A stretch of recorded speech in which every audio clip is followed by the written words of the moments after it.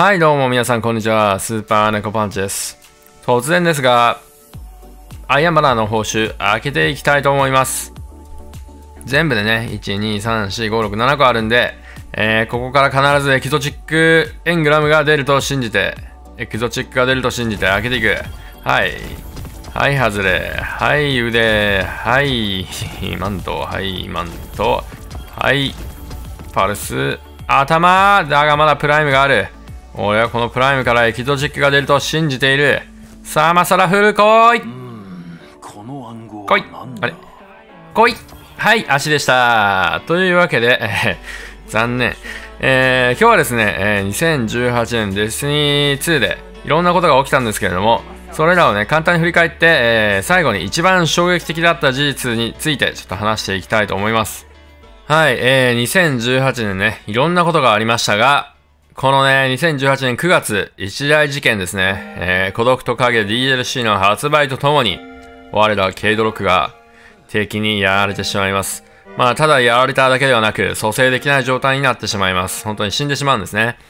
まあ、この動画ね、ちょっと流しながら、2018年振り返っていきたいと思います。まずはですね、えーデスニー2ですね。2017年、えーデスニー2が発売されて以来、えーなんとメイン2丁、そして、えーパワーウェポンだけ、要はね、ヘビーとメインの武器2つの、えー PVP、そして PB のシステムになってしまいます。これはね、D1 からやってる方々はかなりね、ちょっと、うん、びっくりしたと思うんですけども、まあ、賛否両論ですが、どっちかというと否定的な意見の方が多かったです。えーなおかつね、PVP が4対4になってしまいました。で、まあ、メインだけ、そして4対4っていうこの状況なので、えー PVP のマップもね、かなり小さいマップになってしまったんですね。で、なんだろう、角が多い、えー D1 の頃とは全然違うね。D1 とかすっごい広いマップ多かったんですけども、まあ、砂戦とかね、かなり楽しかったんですが、それらがなくなった、えー PVP になってしまいました。で、まあそれがね、やっぱり、まあぶっちゃけ、そんなに面白くなかったっていう意見が多かったために、えーかなりね、たくさんの、まあ、あと PBE のね、コンテンツの問題もあったので、かなりたくさんのね、ユーザーがね、離脱してしまいました。これはまあ、いろんな意見があると思うんですけど、僕もね、えー D1 の方がね、正直、システム面では楽しかったと思います。で、これがね、これを見て、えーアクティビジョン、そしてバンジーがね、やべえとなったんですね。そして、えー必死に開発を始めたのがこの孤独と影 DLC ですね。で、まあもちろんね、そのシステム面の改善、えーその3種類の武器ですね。えーメイン、特殊、そしてパワーウェポンの3種類、要は D1 のシステムにまあ戻るんですけども、で、そして、えーサブクラスの強化など、いろいろね、盛り込んで、えー復活させようとしたのが、デスニー2の息をね、吹き返そうとしたのが、この、え孤独と影の DLC です。そしてストーリー要素の面でもね、やっぱりね、何か、なんだろう、心をつかむものが必要ということで、この、我らがね、えーおそらくデスニー2の中でも人気投票、キャラ人気投票だった1位になる、この軽度6を、えー殺してしまいます、ストーリー上で。えーまあ、それによってね、かなり息を吹き返したとは思うんですが、うーん、でもね、やっぱり悲しいよね。そして、まあ、PVP のね、状態は、かなり前よりは良くなったと思います。個人的な意見ですけれども。えー、でもね、その結果、えーやっぱり特殊スナイパーとか、あと、ショットガンね、えーいつでも使えるようになっちゃったので、えーマップが今度は合わなくなりました。でしかも6対6も開放したため、えーかなり、ショットガンがね、一強っていう感じの、え PVP になりましたね。クルシブルの、まあやっぱりモサもそうなんですけども、大抵ショットガン使ってます。で、しかも、えーテレスト、ウェーブスプリッター、クイーンブレーカー、そして、えー無法スリーパー。まあこれは修正されましたけど、これらのね、凶悪な武器が登場します。やれるよなエースちょっとこのシーンだけ。これが軽度のね、最後のあがきですね。あー、辛い。そしてまあね、このストーリーの後に、えーガーディアンたちは軽度6を、まあ、弔うためにユルドレンを殺すのですが、復讐するのですが、その後なんと、この動画が流れます。これがね、えー先々週だっけ ?12 月の女王のまでね、解放される動画ですね。はい、ちょっとストップですね。えー、こちらの動画ね、かなりのネタバレになるので、まだ見たくない人、まだ見てない人、ぜひあの、ここで、えー、動画を止めてください。それでは、こちらです。こちらね、夢見の都市ですね。そして、あるゴーストが自分のガーディアンを追い求めて、この夢見の都市にたどり着きます。そして彼女はとうとう、自分のガーディアン、蘇生できるガーディアンを見つけます。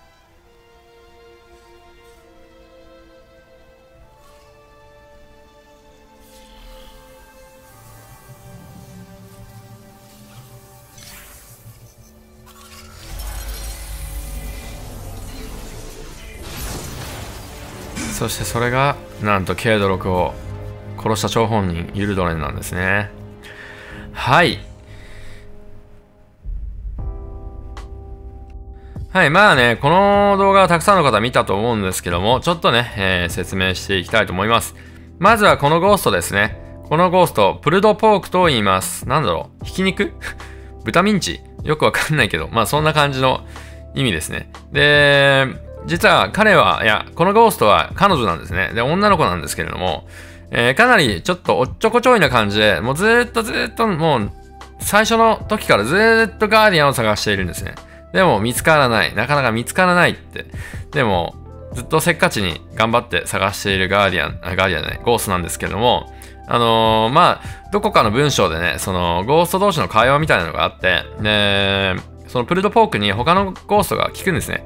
ねプルドポークなんで、なんでそんな、その枯れ、枯れ木とか、なんかガラクタをスキャンするの？って聞いて、で、プルドポークが、このゴーストがね、え、だって、私のガーディアンがどこにいるかわからないじゃないみたいな、すごい天然っぽいね、えーちょっと萌えキャラ風の、えーコメントをします。まあそういったなんか、おっちょこちょいで可愛い、憎めない、えーゴーストなんですね。で、この、まあ花柄のこれね、ちょっとどっちかというと夢見の都市の、まあテーマのゴーストにもなるんですけども、彼女、このおっちょこちょいのこのゴースト、プルドポークが、なんと、えーまあこのゲームの中でね、一番、うん、ガチ、ガチ勢というか真面目な、うん、超シリアスなユルドレンを蘇生して、このデコボココンビが、えー結成されてしまうと。で、ちなみにですね、このユルドレン、今、蘇生されたんですけれども、えっとですね、えー彼の記憶は、えー全くないです。あのーだから以前、ケイド6を倒したこと、まあ、殺したこと、もしくはまあ、その青くんとして何をやっていたのか、それらの記憶は全て、えーなくなっています。これはね、あの、ガーディアン全部同じですね。えー蘇生された瞬間、前世の記憶は全てなくなっています。なので、おそらく今後、えー彼はね、わかんない。えーヴァンガードに行くのか、何なのかわからないですけれども、えーたくさんのいじめに遭う可能性がありますね。はい。で、もう一つ面白いのが、この、軽度6の後、そのハンターヴァンガード誰が継ぐのかっていう話がね、結構ね、海外の掲示板でも、えー討論されているんですけども、おそらくこの人なんじゃないのかっていう話が上がっています。それはと言いますと、実はあのー切り札のね、クエストをやった方だと覚えているかと思うんですが、最後なんか宝箱を開けるたびに、えーそのデスティニー2の中の人物に対して、えー遺言というか、まあ、メッセージみたいなものがね、流れるんですね、ケイドロックから。で、その中で自分を倒したもの、自分を殺したハンターに、えー言うみたいな。えーおめでとう君は私のすべての財産を、えー受け継ぐことになると。えーそれはまあいろんなね、お宝、そして切り札を含め、そして、なんと、ハンターヴァンガードの座もお前のものだと。よかったな、みたいな皮肉っぽいことを言ってるんですね。これはなんか、なんかハンターの賭け事みたいな、そういったなんか、約束事みたいなのがあるみたいで、まあ、まあ、それに従ってけれどもね、えー彼の親友の、まあ、座を受け継いだんですけどね、ハンター・ヴァンガードの。で、おそらく、もしこの通り、この遺言通りに行くと、えーケイド6は自分を殺した人間に、まあ、ヴァンガードを継いで欲しかったんですね。で、それはまあ、ユルドレンになってしまうんですね。しかもユルドレン、もともと、えー別にね、そのガーディアンでもなかったんだけど、ガーディアンになっちゃったし、もうこれはまあ、ストーリー的にもまあ、かなり、まあ、奇妙なことにはなるんですけども、おそらく彼がハンター・ヴァンガードとしては一番、うん、なんだろう、遺言通りに行くとふさわしいのではないかっていうね、うん、びっくりな展開になる可能性もある。そしてね、彼はね、あのー能力的にもすごいんですね。実はあの、女王の右腕として、えー長らく働いてきたこともあって、で、能力もあるし、戦闘能力もあるし、えー戦術、戦略、すべてに長けている、えーかなりね、優秀な人物でもあるんです。もちろんね、敵としてはムカつくやつかもしれないけど、えー味方になったらね、ものすごい、えー強力なんですね。なんで、うーん、どうなるのかなっていうのはすごく楽しみです。はい。まあね、あとはね、これをね、女王がどういう風に捉えるかですね。で、まあ、海外の方の憶測なんですけども、えーもし、もしや、えーこのユルドレンが復活してしまった事実っていうのは、このアハンカーラの願い、要は、リベンに女王が願ってしまったのじゃないのかっていう話もあります。まあね、女王はね、結構クールに、この、なんだろう、そのユルドレンが殺されてしまったことに対してはすごいクールだったんですけれども、意外と悲しんでいて、えーそのね、アハンカーラ、リベンに願い事をしてしまったんじゃないのか、えー弟が帰ってきたらいいな、みたいな、願っちゃったんじゃないのかっていう話もあります。まあ、それによってね、もちろんアハンカーラの願いっていうのは、大体ね、ちょっと斜め上っていうか、予想しない、えー結果になるんですね。で、間違いなく、その、そのユルドレンは蘇生されて、生き返ったんですけども、えーまさかね、自分が、女王自身が意味嫌う、ガーディアンになってしまうとは、あのトラベラーの手下になってしまうとは、えー、女王も思っていなかったんじゃないのかっていう話もあります。で、最後にですね、えーやっぱりね、一番面白いのが、この、まあ、ユルドレンね、みんなね、すごい憎んでいる人も多いと思うんですよ。で、本当にムカつき野郎だと。こいつ、ケイドロク殺して、ね、俺たちが大好きなキャラクターを奪った、えー、張本人だ。だから憎いって思うかもしれないけど、ここでね、皆さんにちょっと考えていただきたいのが、我々自身ガーディアンも、蘇生される前は何をやっていたのかわからないんですね。え極悪人だったかもしれないし、すごく普通の人だったかもしれない。ね、あるいはこの大崩壊を引き起こした張本人かもしれません。まあ、まあ暗黒と光のね、対立ってなってるけども、実際何なのか、自分が何をしていたのか全くわからないんですね。なので、これはね、考えてみるとすごく面白いと思われます。結局はユルドレンと全く同じ状態っていうことですね。はい。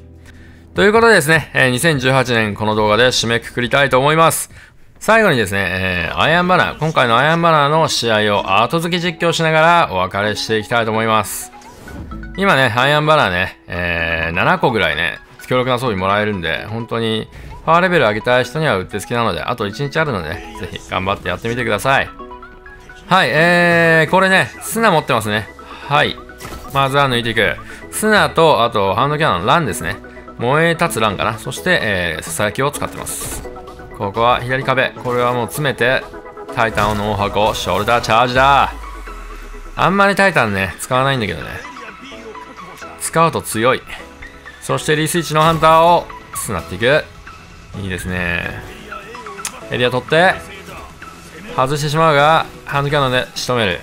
このランっていうね、ハンドキャノン、本当に使いやすいですね。安定してます。こういう風にヘッドにね、確実に当てれるので、本当にまあ、本人の AMCI だ。さあ、行ってみよう。B 旗、詰めていきたい。B 旗、これは、おお、抜いていく。いいですね。ここから左、右に回ってる。これは、1人、2人、2人はまずい。これはワンチャン、狙って外したから、これは引いた方がいい。よし、引いてるな。引いて、引いて、引いて、引いていく。オッケー。引いていく。そしてもう一回チャレンジ。いますね。これ3人ぐらいいるかな。これは、これは仕方ない。多勢に無勢だ。そしてまたここから、前方には誰もいない。お、右から来てる。これは、オーロック。ショットガンだ。まずい。オッケー。味方がやってくれた。そしてこっちも味方がクリアしてくれました。このマップ結構好きなんだよな。ロングが多いっていうか、砂やってても楽しいし。おー、これは3班あんま使わないけど当たるか当たんね当たんね外しまくってる。なんか数って当ててる感じですね。これ、おー、なんか、なんとかやったけど、ザコシだやっぱり、タイタン下手くそだ、俺。はい。次。これは、お、目の前にハンターが飛んでいる。これは気づいていないぞ。抜いていく。これは多分、リスがね、結構ね、微妙なところがあるんでね。はい、これで、ささやきの弾を補充して、なんと後ろにリスっている。これ同じ人だ。同じ人ですね。きっと彼はね、こう言ってることだろう。なんだこのクソリスは。そして、ここで頭を狙うが外すそしてボディでフォローアップいいですね諦めないおっとこれノバワープやばいんじゃないか？やばいんじゃないか？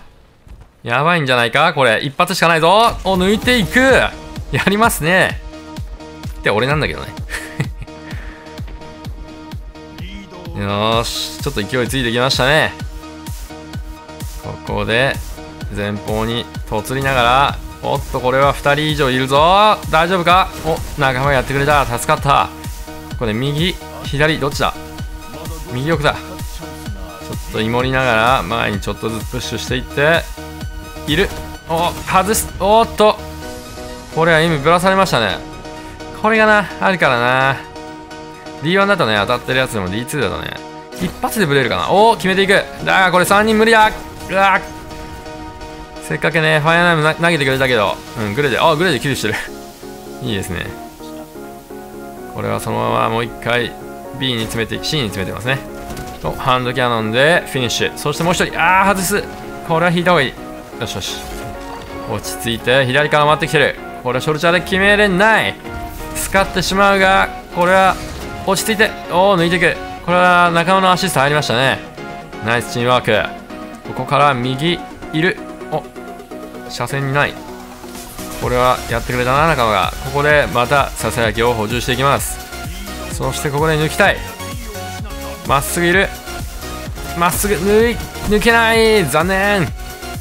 はい、えー、これね D1 だったらね正面でやってもいけるんだけど、そのままの感覚で D2 でやるとぶらされますね。いやーこれはねやっぱりちょっとこっそりしなきゃいけないねスナイパー。はいこれは気づいてない。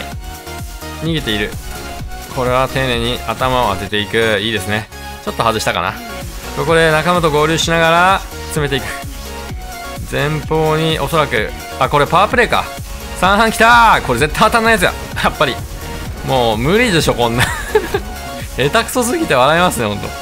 うんなんか3半1スパチャにつき1キルみたいな。やばいですね。もう使わない方がいいんじゃねえかっていう。はいこれパワーウェポンの弾を補充してささやきで抜いていきたい。これはいないか？お左に1人いるな。顔出すか？顔出してきた。オッケーボディショットだが十分なダメージだ。そして奥の方に見に行く。これは A いるな絶対。いましたね。抜いていく。もう1人行きたい。あー隠れた。これもボディショットダメだ。これは引かれた。これは顔出したらやられますね。一回慎重に引いて。おっとこれ亡霊の刃が発動されたぞ。やばいぞ。引いて引いて引いて。ノバワープよりマシだけどこれは抜くのは至難の技だ。これはアンカーからのささやき抜いていく。またラスト一発。相手はきっとこう言ってるだろう。あいつマウサーだぜ。はい。これでストレートもう一人いけるか。いやこれはやばい。ノヴァワープはやばい。ささやきの弾もない。これは引くのが最善策だ。ノヴァワープマジ怖え。本当に。本当に怖えそしてもう一回戻ってチャレンジしていきたい。いますかね？C はいないか？おそらくヘイビーのところにいますねこれ。慎重に覗いていく。いました。これは抜いていく。空中で抜いていく。左のこれはああこれは完全にねエイムがずれてましたね。えー、ダクソだ。そしてもう一人。OK ボディだが仲間のアシストでキルになった。最後の1キルささやきで決めたい。そうあと2発ある。これを決めたい。いる。奥に逃げていく。これはラストキル取れるか？取っていく。そしてあっとこれはネゴパニ選手試合終了に気づいていない。なんてことだ。申し訳ない。ということで本当にね、えー、皆さん2018年応援ご視聴、えー、大変ありがとうございました。今後もね2019年突っ走っていきたいと思いますので皆さん引き続き応援よろしくお願いします。そしてねデスティニー2みんなでね引き続き盛り上げていきましょう。それではご視聴大変ありがとうございました。また来年の動画でお会いしましょう。じゃあね